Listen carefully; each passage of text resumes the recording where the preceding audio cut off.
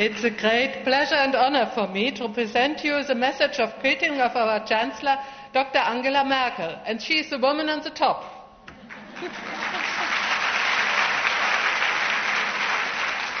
Even though men and women are equal in the eyes of law, there is still a great deal to be done to, to achieve the de facto equality.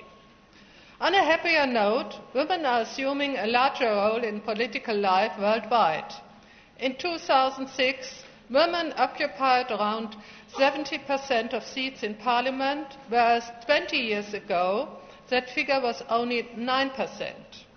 Unfortunately, however, the business situation remains different. Depending on the country and regions, women earn only 30 to 60 percent of men's wages for the same job, even if they hold the same qualification.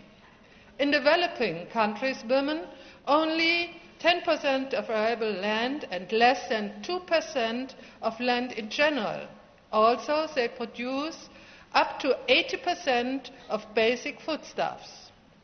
It is therefore all the more important that women managers, entrepreneurs, scientists and politicians from all over the world regularly meet at the Global Summit of Women to exchange experience, learn from each other and above all to network across borders.